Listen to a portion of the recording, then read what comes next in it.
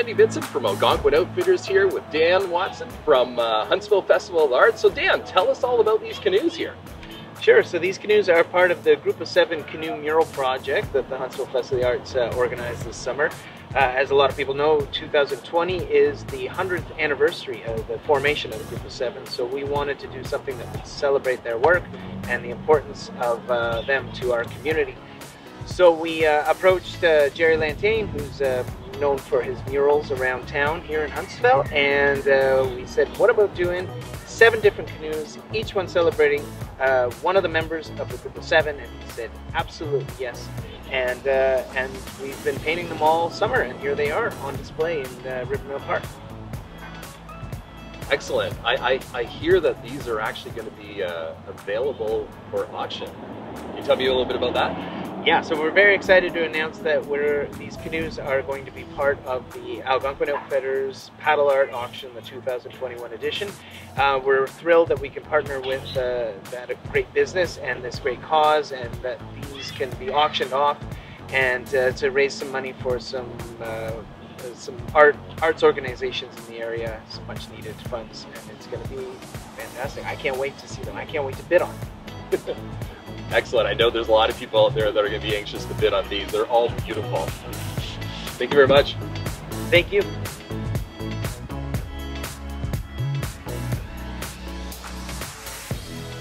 Hi, I'm Jerry Lantaigne, and I am the artist that was uh, hired by the Huntsville Festival of the Arts to do a really awesome project this year. Um, and it was to celebrate the 100th anniversary of the Group of Seven, the original Group of Seven members. Uh, and 2020 is the 100th anniversary of their first art exhibition and a group as a show. And uh, Dan Watson from the Huntsville Festival of the Arts came up with this awesome idea to paint seven canoes, one for each original member of the group of seven. That created a bit of a challenge though because canoes are long like this. And most of the group of seven works are in a four by five size range format, almost square. So what I decided to do, and I usually picked one side of the canoe to start on, and I would center the, the picture of the artist in about the middle, and then ad lib on the sides and move it out uh, in both directions on the sides. And then do the other side of the canoe. So I'd work in stages in the drawings. So each side of the canoe is different from the other side of the canoe. And um, sometimes one side might be better than the other because I was really getting the swing of things on the other side. Anyway, this is a piece, um, it's uh, my interpretation of J.E.H. MacDonald's painting, and it's called North Country near Burk's Falls, which is over there somewhere. But uh, this is a beautiful little piece, and it's funny because, you know, I have, you know, looked at a lot of Group of Seven works uh, over my lifetime as an artist, and I had yet to see this particular version. I found it online. I've never seen it in a book or a print, and it is called North Country near Burk's Falls, which is pretty cool because that's extremely local to us here in Huntsville and the Huntsville Festival of the Arts. And I can move on to the next canoe, which is right over here. And this canoe is an interpretation of a painting by Frank Johnston, or Franz Johnston as he became to be known. He is, uh, again, one of the original members of the Group of Seven, um, but strangely enough, he was the first and only member of the Group of Seven to actually quit. Um, when the Group of Seven started in the early 1900s, uh, so 1920 was their first show, they got such bad, bad, bad, bad publicity and press and bad reviews, and it really was potentially going to damage their career as artists. So Frank Johnston, who painted this particular painting in about in about this area here is about his original painting. Um, and he left the group, but he is an original member and they've always considered his work as part of the group of seven masterpieces. Now, this painting I also found online because I had never, ever, ever seen it before. And this is the only painting I've done that I have no idea what the actual title is. Um, yeah, I just I don't know what the title is. And if someone does know, because I've never seen this painting in a book or that one, but at least we know the title of that one. But let us know at the Huntsville Festival of the Arts. This particular canoe is a reproduction of a very famous painting by Lawrence S. Harris. And he is one of the found well they all were founding members but he's one of the founder founders of the group of seven. Very interesting man mr harris. Um, this is his painting or my version of it i should say baffin island. Um, and one thing i will point out um, when we did these paintings really interestingly enough we actually used marine grade paint. So we used boat paint.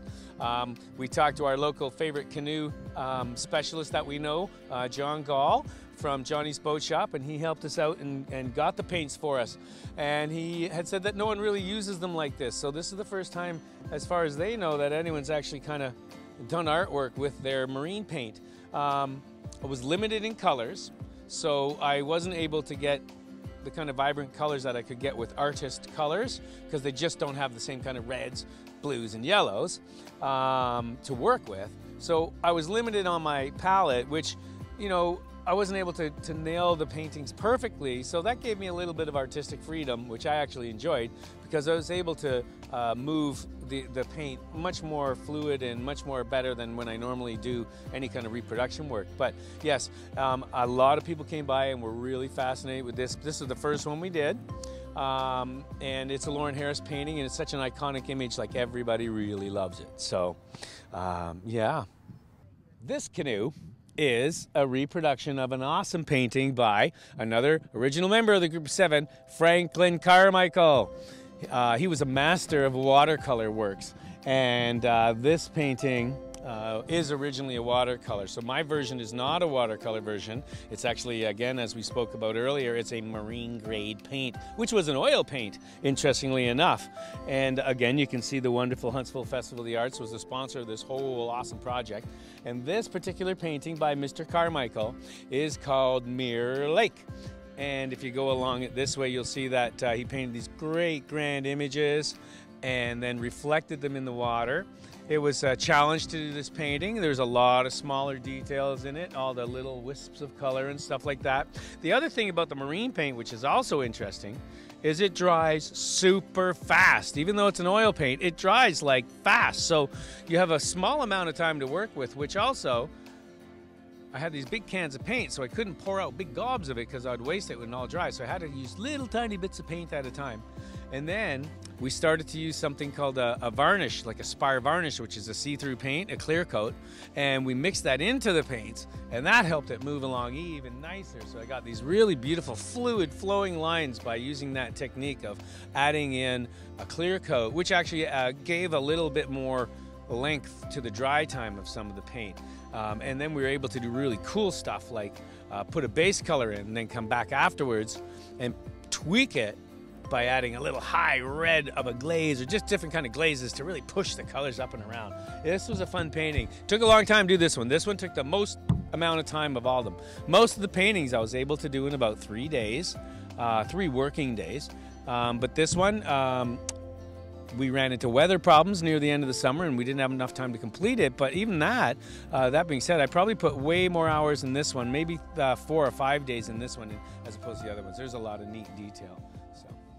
I like this one too. Okay, this is, again, my version of an iconic painting by A.Y. Jackson, who is really one of the fun members of the group of seven.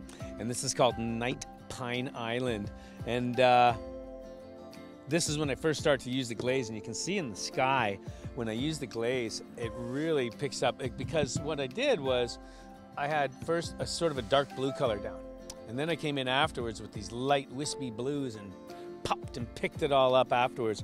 And also another technique I was able to figure out by using this paint because it was drying so fast I put all these base tones in. So when you first if you had come by this painting when you when I first made it um, all these rocks were super bright orange.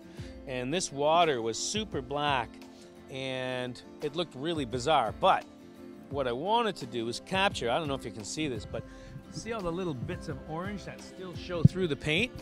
That's kind of the technique that I was trying to imitate of the artist that made this, A.Y. Jackson, because he kind of sort of dry brushed or scrubbed his paint or pushed it across the canvas and had this really interesting technique to it. So I was actually using the paint when it was almost dry sometimes too. And you can see because I was scraping it across, so not all the paint came off the brush. And it, it just made this nice draggy effect where you still get some of the background paint showing through, which is exactly what I was trying to do. Oh, and with the water, so you can see there's uh, reflections of stars in the water. And the same thing, this was all pitch black water and it, it looked really weird. But I started dragging the super dark blue down it in the same process with kind of a, almost a dry brush, and it, it just made these beautiful blues, um, like the original painting almost, and these highlights of where the stars are and stuff like that. But letting the black of the of the of the of the water really come through, so you get that depth in the water. Yeah, this is a marvelous painting by A.Y. Jackson. Um, I stretched it out really, really far. This canoe is by Arthur Lismer. Whoa, wait a minute. No, this canoe is by me. But the painting is a reproduction of two of Arthur Lismer's paintings. Of course, Arthur Lismer, one of the original members of the group of seven, um, and um, a friend of Tom Thomson's, although Tom was not a member of the group of seven because he passed away before they actually became the group of seven. He died in 1917, and they didn't have their first show until 1920, but he really did inspire them. And in fact, this particular painting is uh, a painting that he did in Algonquin Park. And I wouldn't doubt if he was on the same camping trip or probably sitting beside Tom Thomson the day he painted this one because it's very much in the style of Tom Thomson's paintings. And it was done early, this, this version of this uh, uh, Algonquin Park scene. Uh, beautiful, but very, very indicative of, of, of um, Tom Thomson's uh, style in terms of these, you know, beautiful brush strokes and hit quicks and nice hit quicks. Now, Arthur Lismer ended up moving away from that sort of choppy kind of painting and ended up developing his own style. So um, I combined this other painting down here. This is a piece of a, a shoreline of a, uh, a, iconic painting by Arthur Lismer of Georgian Bay. Now, they had a friend on Georgian Bay, and they always went to this guy's cottage. His name is Dr. MacCallum, and they always hung out there. Um, well, not always, but they were invited up in the summer times, and they did a lot of painting there. Um, so when I first started this canoe, I wasn't sure which painting I was going to do first, or which painting I was even going to do. And I was wondering, how am I going to do? Oh, how am I going to put this painting on here? Because it's such a long, long thing, and the painting's this wide. So when I came down the street, I saw a reflection, and I saw exactly this reflection coming off the road. And I went, oh my God, it looks like the trees in this painting. And I, perfect. So then I knew exactly how to paint the painting. And I thought, wait a minute, I'm going to put the other painting in. So I got two Arthur Lismer paintings in one here. And I've added his Georgian Bay uh, trees and rock painting as an iconic bookend uh, to this particular canoe. Arthur Lismer, solid guy. Now, this canoe is by Frederick Varley. Well, again, I did it again. This canoe is by me, but it's a version of Frederick Varley, one of his paintings of Georgian Bay. Uh, as I said, they spent a lot of time in Georgian Bay uh, doing painting because they had a um, patron there who was Dr. MacCallum, and he had a cottage on Go Home Bay. So this is more than likely right in that immediate area of the Go Home Bay. What a beautiful, beautiful sunset. Uh, really striking colors. I did my best to match up the colors. Now, when I picked this particular painting, um, and if you recall earlier, I mentioned that there I, I, didn't have the same kind of colors available in the um, uh, boat paint, in the canoe paint, uh, marine grade paints. So I looked for colors that were similar to the ones I had, and I found this particular painting. I thought, perfect, this is perfect. So this, too, is a very early painting by uh, Frederick Varley. And again, this is extremely influenced by Tom Thomson's style. Now, um, everybody had met Tom. They all worked with Tom. Most of them had worked with Tom, but they'd all at least painted with him, and most of them had gone into Algonquin Park and worked with him in Algonquin Park. And so there's a good chance that Tom was here uh, this week when they painted this painting on Georgian Bay. Uh, beautiful screaming sunset. You got these beautiful oranges that change into these greens and fade off into the darkness of night up here, which is kind of really nice. And it's augmented by the silhouettes of the iconic Canadian uh, pine trees um, that sort of became a fixture of the group of seven work. Now, the other interesting thing about this painting is I finally figured out a way on this project to include Tom Thomson. Now, he was not an original member of the group of seven and had passed away uh, prior to them doing any shows. Um, so he didn't get a canoe. So we, we have seven canoes, but he doesn't get one. But when Mr. Varley was hanging out in Georgian Bay with Tom one afternoon, he painted Tom Thomson on the rocks. So this is a portion of a painting, and it's it's very similar in this area here. And he he didn't have any detail in the face, so I didn't put any detail in the face. So I tried to make it look very similar to Mr. Varley's painting of Tom Thomson. So we included Tom in the project after all.